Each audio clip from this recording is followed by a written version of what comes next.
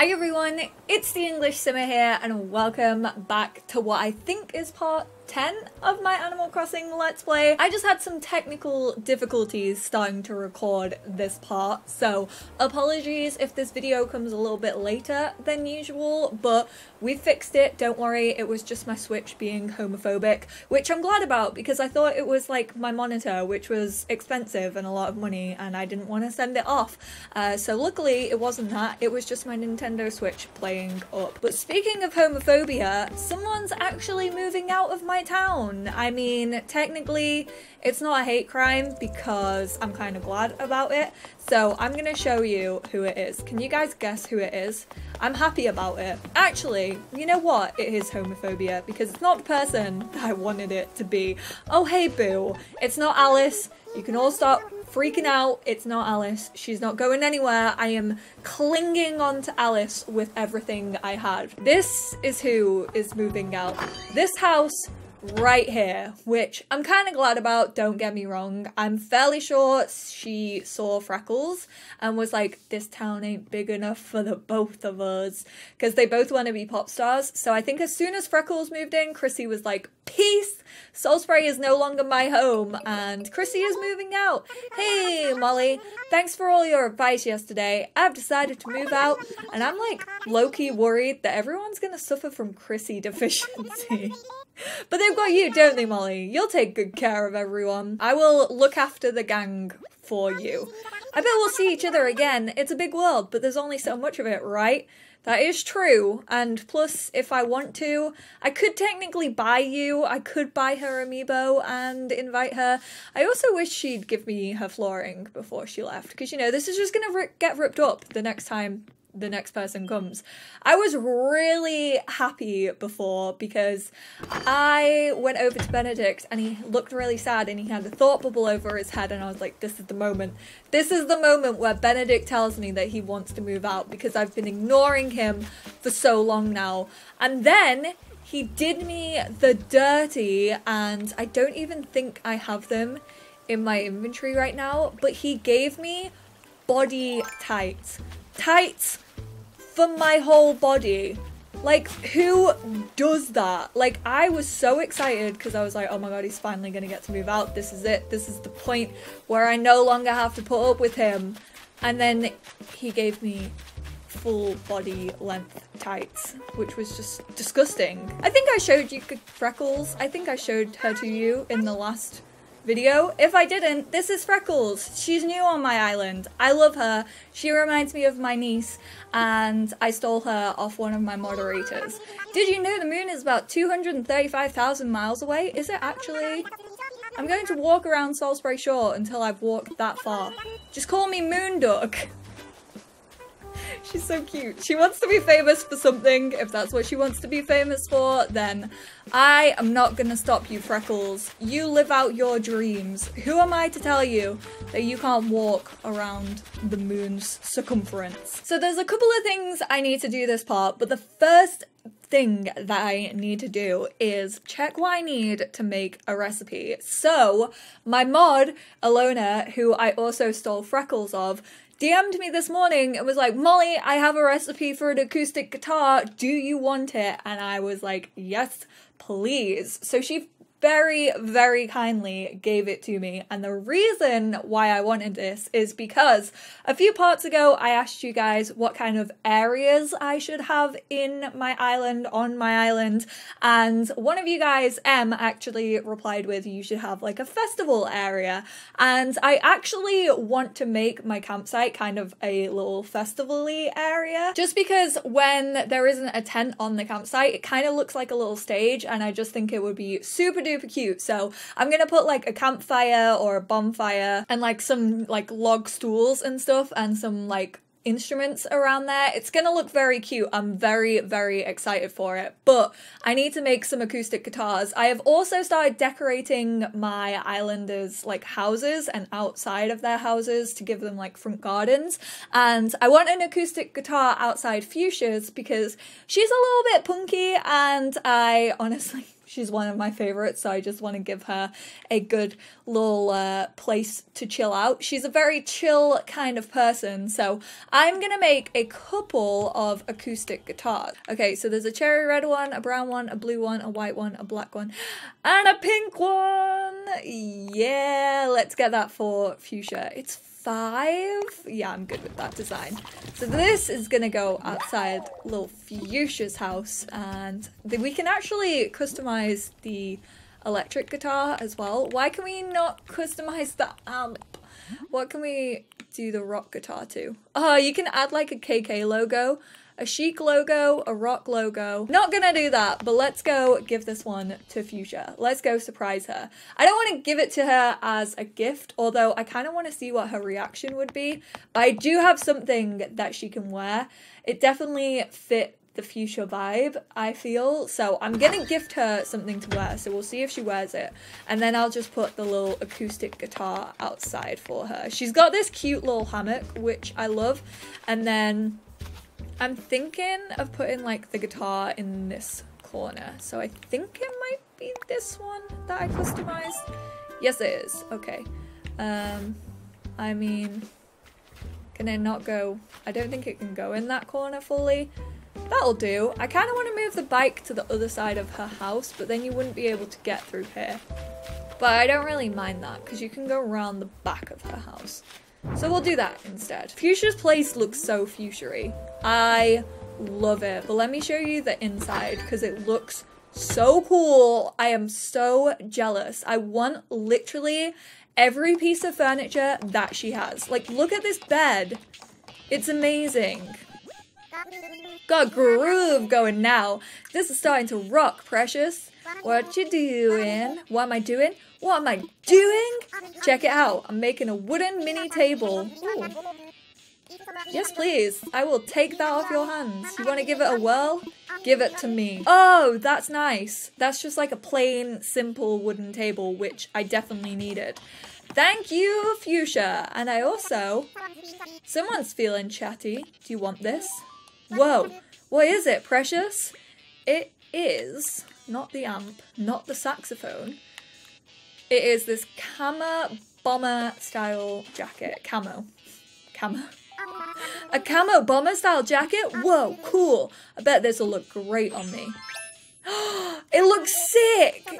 That suits her so much. Thanks, Molly. So what do you think? Do I look good? Do I look awesome? Good one. One good deed deserves another. Here, have a cardigan shirt combo.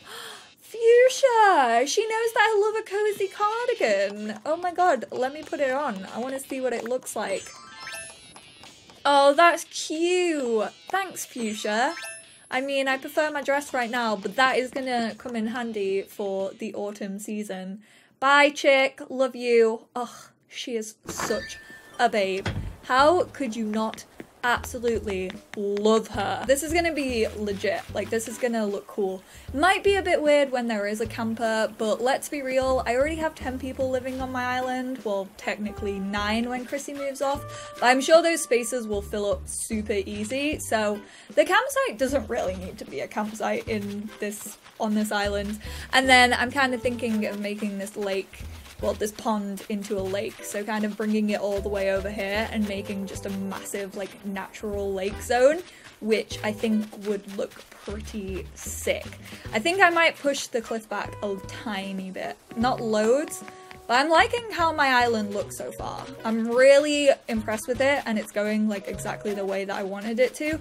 I also want to do like a little greenhouse bit because I saw someone on Twitter do that and it looked adorable. And whilst we're here, we may as well check what I have in my bank. I am almost rolling in it. So I only have like 248,000 left to actually pay off this loan, which is great. Um, might even do that on tonight's stream. Might just try and like crank out some bells with catching fish and maybe going to mystery islands and stuff. And then I think the next video is probably gonna be me hunting for the gayest villager that I can find. As you guys know, I have quite a few Nook miles. So I think I might just buy like a whole bunch of tickets and then once Chrissy moves out today, we'll have a free plot and I can kind of just be like, okay, this is going to be a task to find the gayest villager. But what I also need, because I keep getting confused between this walkway and this walkway, this second one is the one that actually leads you to the bridge. But I keep getting confused about it, so I'm going to put a signpost like here so that I, when I'm running across, I'll be like, okay, no, that's not the first one, it's this one. So I need a gay signpost, which is a thing in the game. Yeah, this is the destination signpost I want. On Sunday, it was Bunny Day. As you guys know, I actually recorded the first part of Bunny Day where Zipper basically told us that we needed to find eggs and give them to him on the 12th. I did that and I will show you what he gave me for all of my hard work. Oh, I think I sold it. I think I fully got rid of it, but he gave me a toy of himself, which was horrific. Like, nobody would have wanted that in their right mind, so I bin that straight away. And he also gave me a Bunny Day arch. And where's the last thing that he gave me? This right here, which is a Bunny Day wand, which most definitely looks like a butt plug. Um, so thank you, Zipper. I appreciate that. I wanted all of it, as I'm sure you could tell, and I was really, really salty about it. So I'm really glad that I did not record any of it, because honestly, none of it even deserved a video here on the channel. So I'm sorry that you guys didn't get to see like the end of those things or the first 20, but honestly, honestly, I just didn't want to sit and record the tourney because it was the same thing over and over again, and it really wouldn't have made a good video. Uh, but I just picked up peaches as well so that I could eat some and move all of my trees over to the orchard. But like I said, I can't remember what is my orange and what is my cherry. Okay, so this tree is kind of in the way, so I'm definitely gonna have to move him. But let's place this destination board down here and then we'll do it that way. Yeah, there we go. So now I'm gonna remember which way it is. I also, like, I think like along here, I wanna do like the rainbow flag. As you guys probably know, if you've been to Pride before, a lot of places at like junctions or road crossings, they put the Pride flag down, and I definitely want to do that. So maybe we'll do that in this part. So I need to get, like, get the colors correct, and then I might do it as like a little walkway, which is gonna be super cute. So we'll do that in this part, but let's some peaches so that I can dig up these trees and sort my orchard out. And after collecting all my fruit from my orchard, let's go and have a gander at how much we can get for all of this. This is exactly why you build an orchard because I want to see how much money we're going to get just from having four different types of fruit because I'm not selling my own fruit, which are peaches, because I can go to a friend's island whose native fruit isn't peaches and get more money for those as well. So let's sell all of the fruit that we just got. So oranges, apples, cherries, pears, and that was everything. Yeah. I got my peaches still, so let's confirm those. So we got like 12 to 15 of each of those fruits. And for that, we will get 27,000 bells. And they, I think, spawn. I don't even know how many days it takes for fruit to spawn, but I mean, that's a pretty steady flow of income.